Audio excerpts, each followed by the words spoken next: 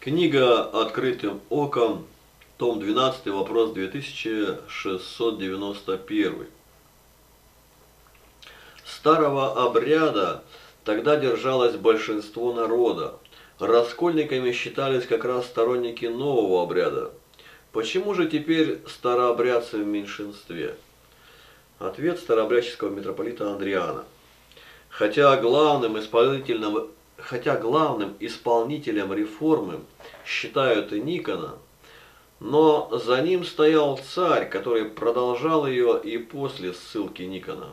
Именно государство проводило активную притеснительную политику. Позже царевна Софья издала известные своей жестокостью 12 статей, по которым даже того, кто в старом обряде раскается, полагалось причастить и казнить смертью без всякого милосердия.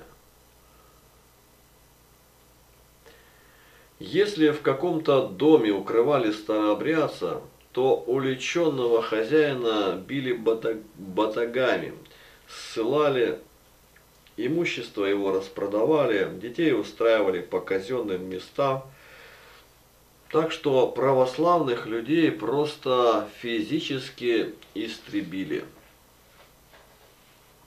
Комментарий Игнатия Тихоновича Лапкина. Возглавители борьбы за, в кавычках, чистоту веры были одинаковы в вопросах, в кавычках, научения.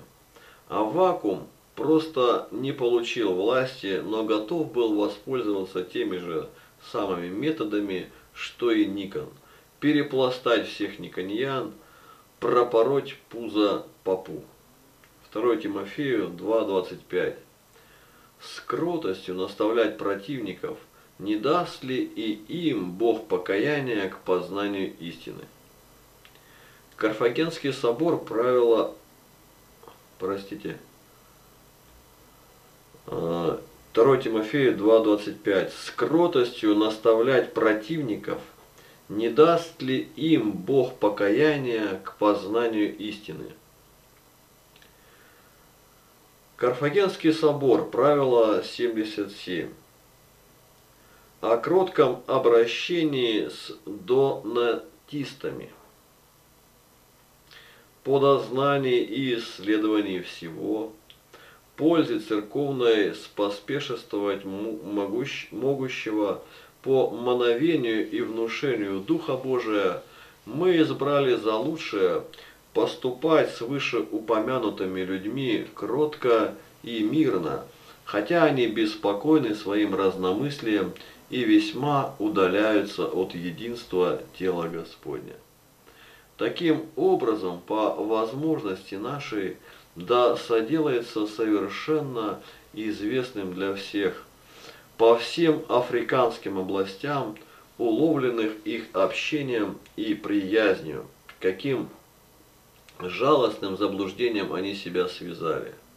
Может быть тогда, как мы с кротостью собираем разномыслящих по слову апостола, даст им Бог покаяние в разум истины и возникнут от дьявольской сети, быв уловлены от него в свою волю.